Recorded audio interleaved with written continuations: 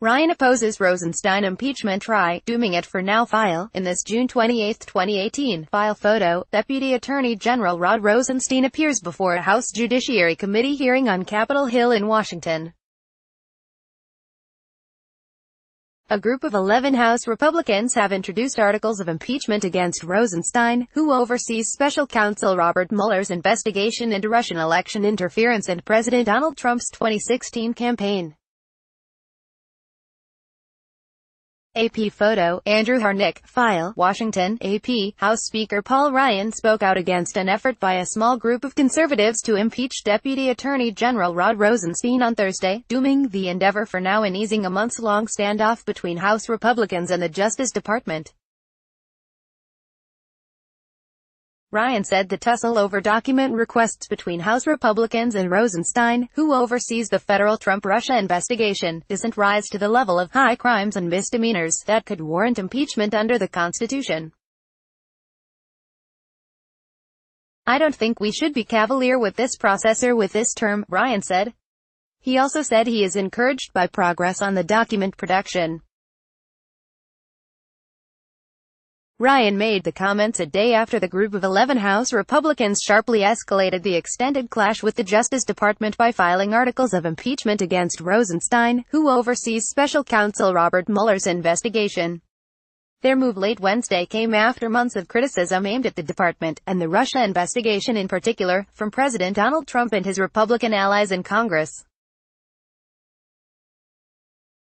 Trump has fumed about Mueller's probe and has repeatedly called it a witch hunt, a refrain echoed by some of the lawmakers.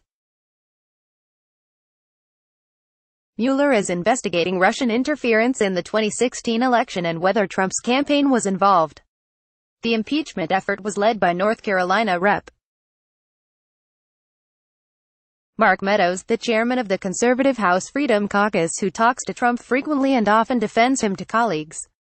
As Ryan voiced his disapproval, Meadows acknowledged that he didn't currently have the votes to pass the impeachment resolution and said he wouldn't use procedural maneuvers to trigger an immediate vote, something he had threatened to do. The House left Thursday afternoon for a five-week recess. Instead, Meadows said he had a commitment from leaders to vote on holding Rosenstein in contempt of Congress when the House returns in September if certain documents are still outstanding. The agreement came after discussions on the House floor with Judiciary Committee Chairman Robert Goodlatte, RVA, and the number 3 House GOP leader, Rep. Steve Scalise of Louisiana. The contempt resolution would first have to move through the Judiciary Committee, according to Republican aides. Meadows said the five-week delay would give the department one last chance to deliver. He didn't rule out trying for an impeachment vote in the future.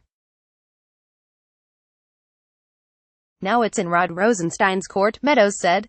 Ryan's tone was far different. We do not have full compliance, and we have to get full compliance, but we have been making tremendous progress to that point, he said of multiple document requests.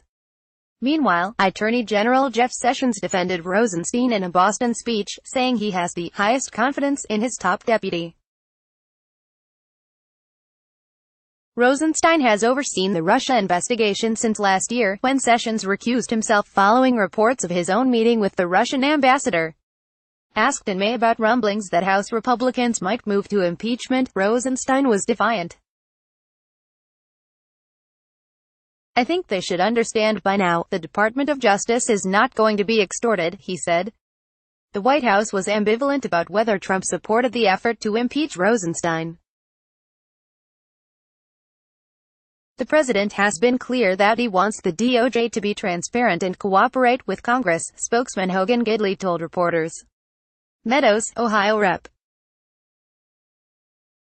Jim Jordan and the other Republicans who introduced the resolution have criticized Rosenstein and Justice Department officials as not being responsive enough as House committees have demanded documents related to the Russia investigation's inception and a now closed investigation into Democrat Hillary Clinton's emails.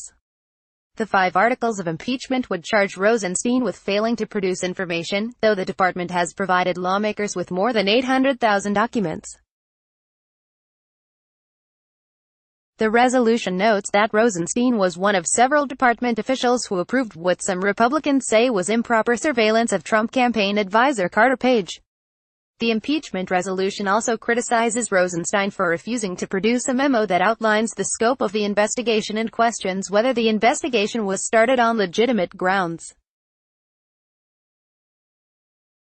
It is highly unusual, if not unprecedented, for lawmakers to demand documents that are part of an ongoing criminal investigation. At a House hearing last month, Rosenstein, along with FBI Director Christopher Wray, faced angry Republicans who alleged bias at the FBI and suggested the department has conspired against Trump. Still, some GOP lawmakers said they would draw the line at impeachment. Impeachment is a punishment, it's not a remedy, said House Oversight and Government Reform Chairman Trey Gowdy, who has led one of several House GOP investigations into the department and has complained of anti-Trump bias. If you are looking for documents, then you want compliance, and you want whatever moves you toward compliance. The impeachment resolution came about two hours after Meadows, Gowdy, Goodlatte and other GOP lawmakers met with Justice Department officials about the documents. The department has created new search systems, set up classified reading rooms and tasked dozens of employees to produce the hundreds of thousands of documents that Republican lawmakers have requested over the past year. Democrats on the House Judiciary, Oversight and Government Reform and Intelligence Committees called the impeachment effort a panicked and dangerous attempt to undermine an ongoing criminal investigation in an effort to protect President Trump as the walls are closing in around him and his associates. So far, the special counsel has charged 32 people and three companies. That includes four Trump campaign advisors and 12 Russian intelligence officers. Democratic reps Jerrold Nadler of New York, Elijah Cummings of Maryland and Adam Schiff of California said Rosenstein stands as one of the few restraints against the overreaches of the president and his allies in Congress. In addition to Meadows and Jordan, the Republican lawmakers who sponsored the impeachment articles are Reps. Jody Hice of Georgia, Jeff Duncan of South Carolina, Andy Biggs of Arizona, Louis Gohmert of Texas, Matt Gaetz of Florida, Scott DesJarlais of Tennessee, Paul Gosar of Arizona, Bill Posey of Florida and Scott Perry of Pennsylvania.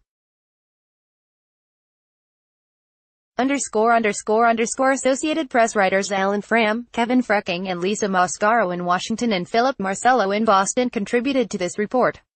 Copyright Copyright 2018 The Associated Press.